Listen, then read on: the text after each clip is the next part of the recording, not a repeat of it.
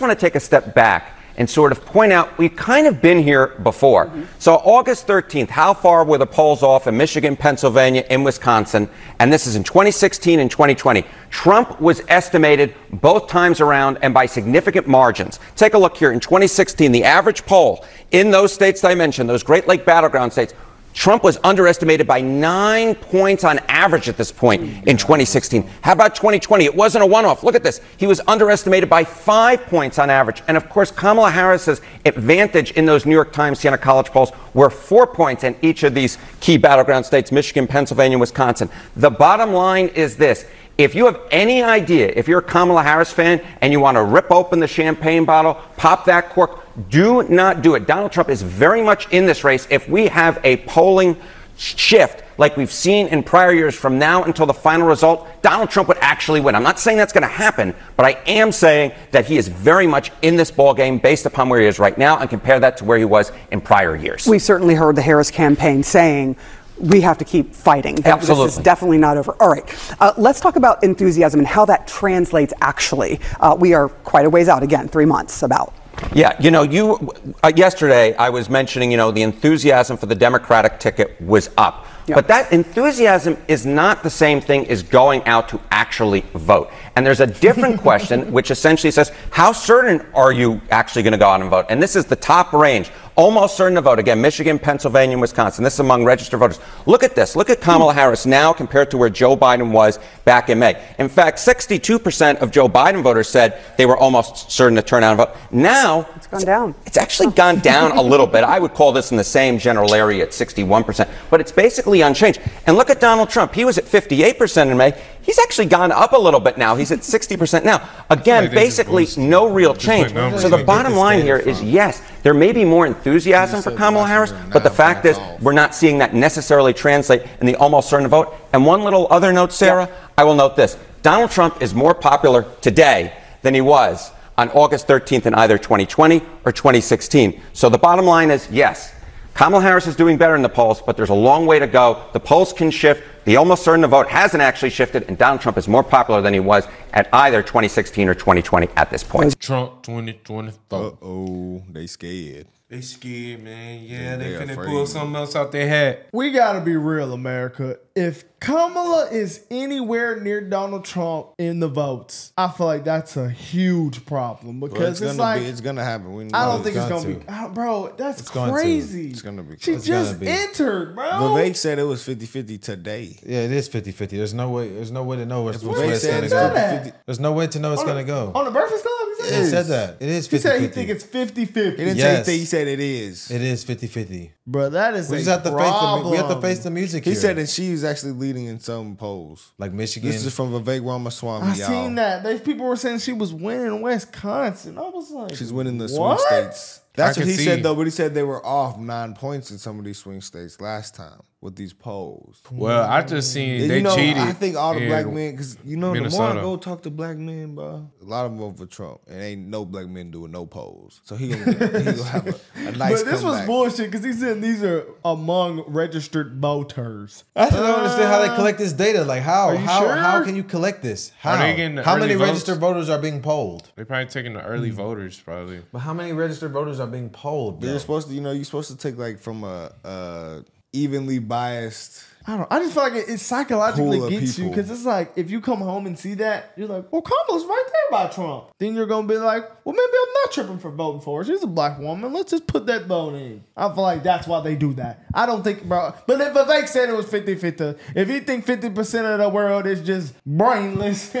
it was just it was funny because like I remember That's they had the a poll before, That's like crazy. with Biden in in Trump when after the debate and they said if Kamala became president, she had a negative four chance of winning or anybody liking her. Now all of a sudden they saying she's winning. Yeah, or, or maybe yeah. we just we react and do politic content. So like maybe we've been following it. Maybe people actually don't look to who they're really gonna vote for. Like you know people that work every day to buy too much out. They look into the policies maybe. So maybe Kamala lose on time. Man, we just looking at it a different way. Like the people in our people that's watching this right now, you know how? Cause she How if we don't know no policies? I don't know. Bro, man. obviously it's 50 if it's 50 50. I think it's I think it's 50 50 What's the reasoning behind it's that? the honeymoon stage. It's because the identity politics for right now. Both of yeah. those. Yeah. They said at but first when continue. she first joined, everyone's gonna be rocking with it, and then once it got to the policies and stuff, and when got to when it got in that red zone, that nitty gritty. I think she's just. She, I think she's running. The independent voters who really think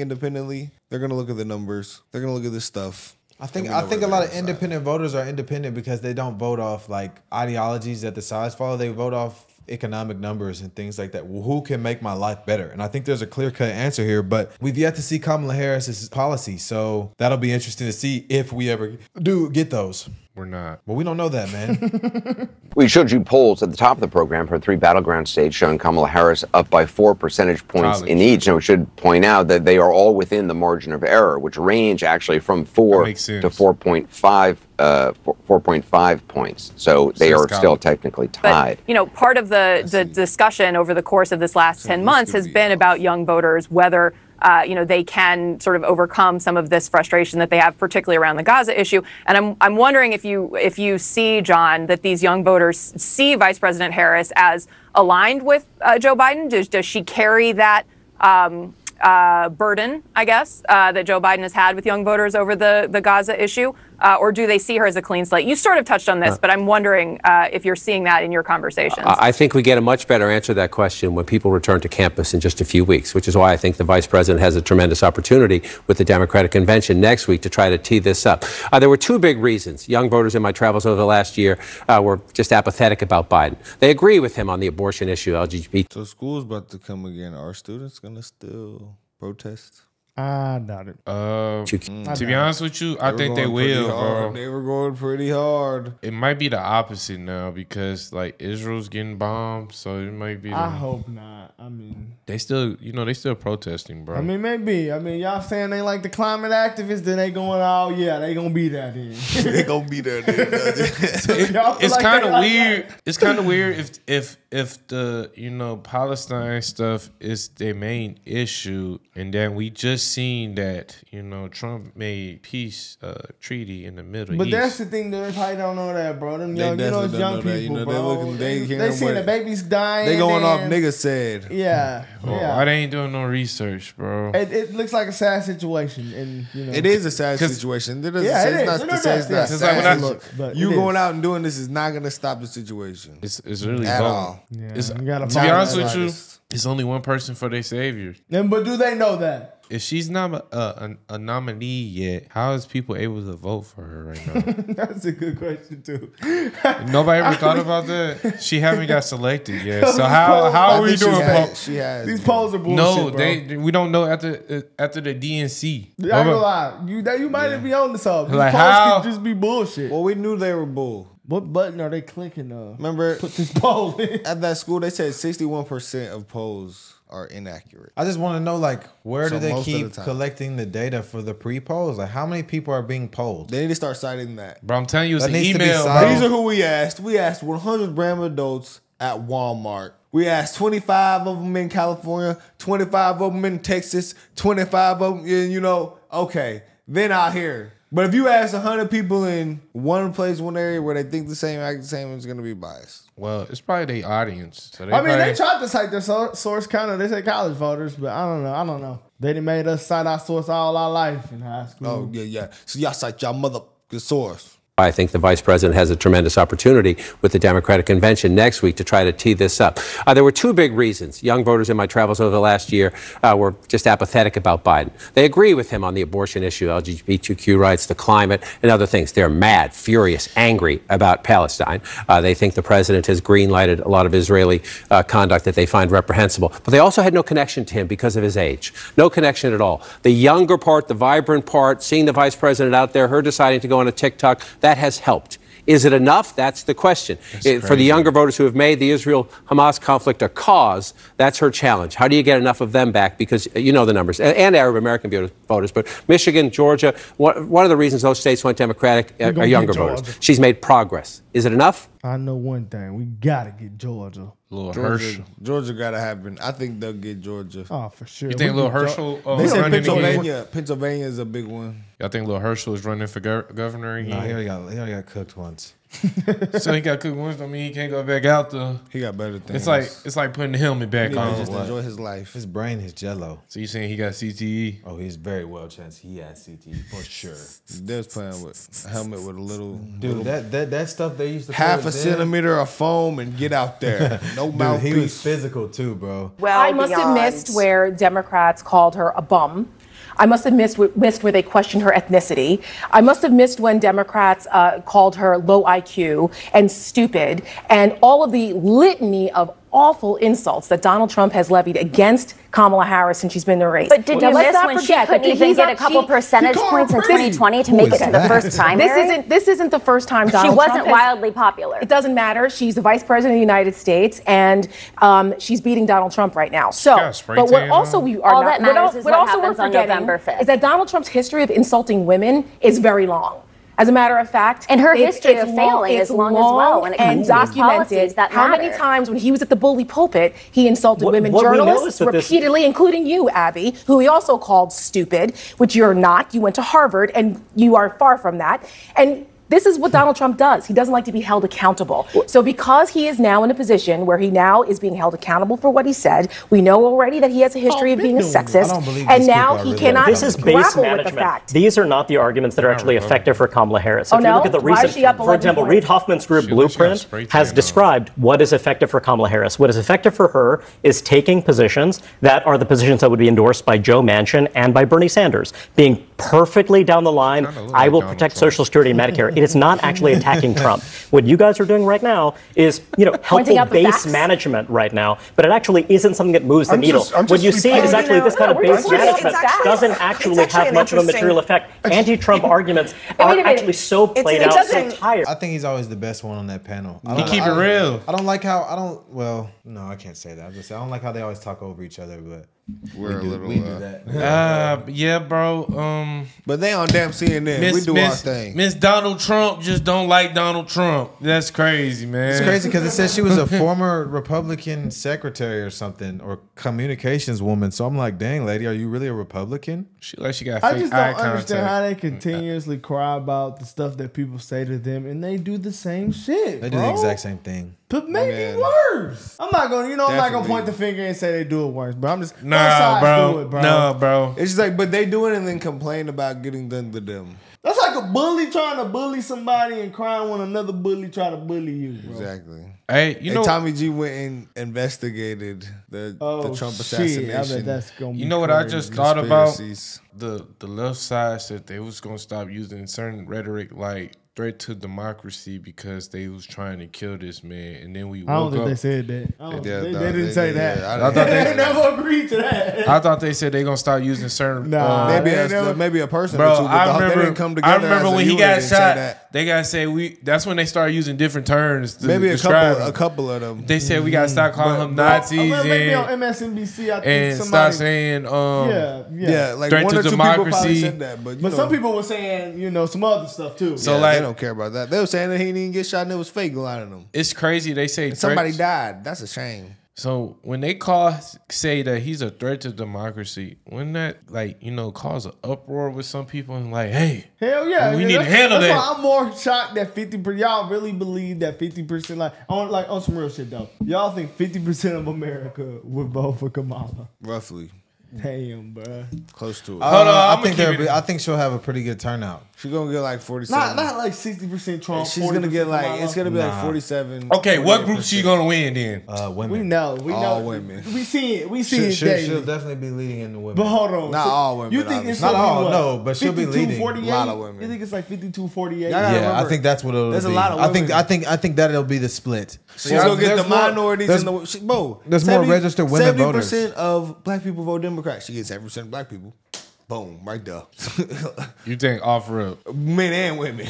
I So don't then know, you get bro. All the white women. I don't think you she get all get the all the black liberal women. Yeah, that Boom. might be right. You get a good amount of probably every. I'd say ninety nine percent of the black women. Shit. Boom. I didn't You think I don't know about the black male, You get bro. about you get probably sixty five percent to sixty percent of the black male. Boom. I don't know the Mexicans. I looked into them too much. I don't know, bro, because I Bro, be seeing a lot of black males say they vote for That's what Trump. I'm saying. I say sixty to sixty five will vote for Kamala. That's But how. look, though. I even been seeing women. Say we was living in the wild, wild west, and these were the two choices, and we didn't have no media. What It'd would be a y'all different think it would story. be? It'd be a different then? story. It'd be a different story. But You this said Wild Wild West, West. and we do have media, and they had media. They had the newspaper media. Well, that, bro, I think down it but they were still Jake, spinning. They was doing this since then. They been, that's why I said That's they've been running that place since That's then, bro. That's true. Back then, they put in the newspaper. I'm about oh, yeah, they have. They have. The, the, the media has power. They always have. Yeah, they, I they alter Trump people's going, so. perceptions. Hmm. You think it'll be like 70-30 then? If it was like no newspaper, no no bullshit, no outlet, No. strictly off the economy and You can't. we- You can't go off no outlet. When is there going to be no outlet? People are always going to. Yo,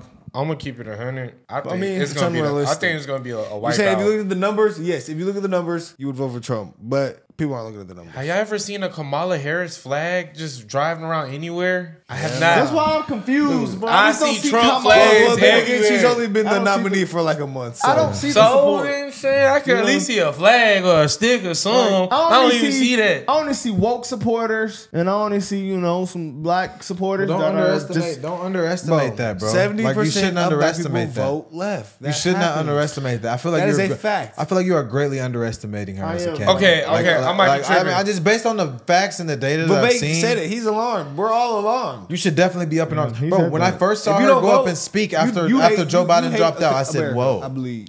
So okay, how much of the NFL you think is voting which which side?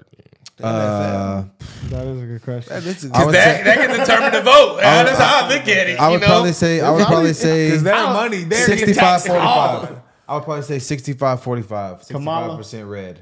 Nah, I'm to the other way. Really? Yeah. You think they vote blue? They are still black. I don't think they're that black. Well, you know, And you they're not into the, politics, You still bro. got the. Uh, I don't exactly. think they're that So they foolish. going off what they heard. Man, my mama told me. Uh, Nah, bro. I think I think a lot But of they got a lot. You know, Bro, linemen, I think the a lot linemen, of the quarterbacks is gonna vote for Trump. I think a lot of them are not going to want to like pay more taxes. I Yeah, think but you know want they don't less see like that, bro. I They was- said, I- like Charles Barkley said, I feel like I'm helping black people. I'll take that lick to help my people. Oh yeah. Yeah, I just I was telling Taj earlier though. I think like with the politics situation, I feel like you're gonna vote what you got introduced to, kind of like yeah, like what your parents introduced to you to. Like when you first like, you, we're talking about Michael yeah. Jordan. Say, do you think he's Republican or Democrat? I say, you know, he has a different group of people he hangs out with now. So I think like if he was a young kid and he got rich and he never heard about politics, maybe from his mama, but Like you know, Bron, think- Bron is gonna get taxed and he's gonna but that's what I'm saying. But like that, but the people Bron be around It's already getting probably taxed liberal. fucking fortune. It's It's the people LA. that you be around what makes you you decide. What I think I aisle think. Michael. Nah. I think Michael was. I think uh, so. I think it's like who brings politics up to you. was. I know what Michael Jordan is. Uh, the ball, huge the ball influence. Because if my daddy tell me Trump's not racist from a kid, I'm gonna believe that. Facts. So that's why I said though. That's why it has to be like That's a when- heavy when you influence. first get to politics and you can't have like be biased. But a lot of people don't really talk to their like. My I just parents think didn't I talk to just me think about Michael I just think a lot of people lot. I think a lot of people vote uh, uh, off of who's a better person, and I think in politics that's just not the right way to think. You need to think Who who, they think is can make your life better and who can make things better for the country. Like number one thing, as I said, who can make your life better. Don't prop up social issues. A lot of social issues are just made up mm-hmm. and, and, and propagated by the media to make you think and feel a certain way. I think if you are a more factual thinking person and you look at things that will really affect you and policies and things like that, that's what you need So y'all basically saying fifty percent of America don't vote off. Oh, 100. The politics. I think y'all, it- I y'all think that people just looking at it and just not He's looking at mean the or politics. Yes. What did Yes, bro say? I think I would The say media. majority of voters media. vote that way. Like I ain't gonna lie. Who do they like better? He's a Who's more likable? bro. Who's more likable? Like let's think about it. 2020 was a prime example of I, that. I would say our age group probably votes off that the highest. Yeah, that's why Vivek said, mm. man, 25. if Vivek says 50-50, man, we gotta vote, man. 25. That's crazy to me, bro. That's pretty crazy. You underestimate her so much. Yeah, I, I do, bro. Because the, the shit's just crazy to me. Like these, they, they have no policies. They haven't been running good. They've been sleep. They've been shitting. They've been doing all type of shit. You know what I'm saying? Like, that's why I just don't. I, I don't think it should be close. They but taking Ben my Carson rights. said it best. They taking my rights and they racist. Don't don't white folks over there want to take taxes away from me, man. That's racist. I heard they gonna put black folks back in chains. don't don't don't don't. A lot of a lot of older people actually believe that. Them racist white folks said they trying to shut down the border. Them racist white folks they trying Well, to say hey, hey, over prime there. example with this, the panel, she kind of just yeah went went on about what they said about Kamala, what they said about her. Nigga, then, pop- then, then, then Yahoo might say some crazy as shit. But fuck nigga, how you say, man, I want to some crazy shit. What if these niggas get crazy? What y'all want to do? Then what y'all gonna say then? I don't know. We out of here, y'all.